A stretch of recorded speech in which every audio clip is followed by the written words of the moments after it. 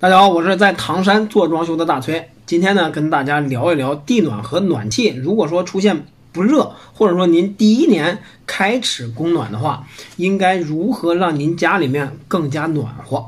这条视频非常重要，大家呢一定要看完。从简单到容易，跟大家说一说如何排查暖气不热的一些问题。呃，地暖和暖气呢，先说暖气，因为暖气呢会比较简单。暖气一般情况下呢，通过排气儿来解决。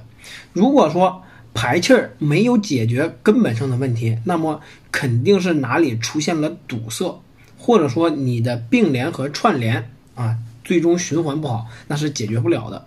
呃，这种呢就是能解决的，就是排气儿啊，或者说直接进水都不热的话，是因为你的阀门出现了。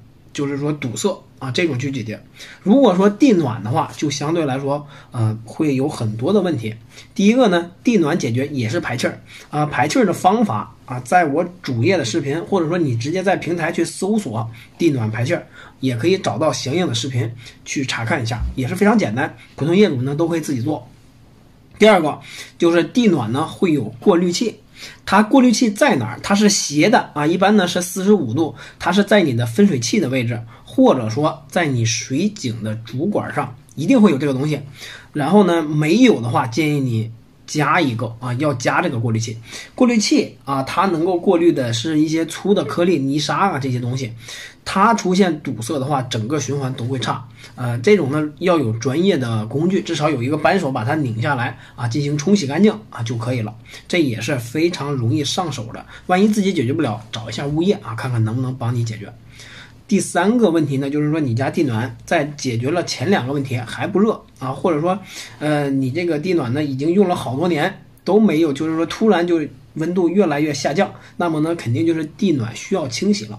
一般呢地暖的清洗周期啊五年左右啊就应该进行一次清洗。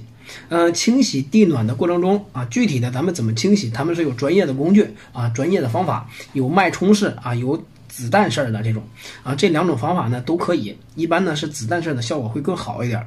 呃，但是提示您一点，在清洗的过程中，您这个分水器一定要啊进行拆解一下啊，看看阀门有没有出现堵塞。尤其是非铜质的啊，这个分水器是容易出现一些锈斑啊，将我们的管路啊进行堵塞的。如果说刚才所说的这些问题都还没有解决你的问题，包括前面说的这个暖气。也没有解决问题，您并不是需要直接就挖开地面重新铺设，没有那个现象。您需要做的呢，就是加一台循环泵，啊，加循环泵呢，有些地方啊是按照我，比如说我们的现在我们很多新小区都是按照你走多少流量啊进行加这个循环泵的。啊，加这个呃循环泵的，那么你流量多的话，肯定你的地暖的费用肯定就会供暖的费用就会高一点。但是有些地方是不允许增加循环泵的，因为你增加了循环泵之后，你的邻居他的流量可能就会被降低。所以说呢，这种是最后一个方法，谨慎去选择的。但是这也是最终地暖和暖气都不热能够解决的唯一的一个办法。好了。今天呢，都跟大家说这么多，大家呢从简单到容易啊，一点一点的去排查啊，并且逐路啊，逐个暖气去排查。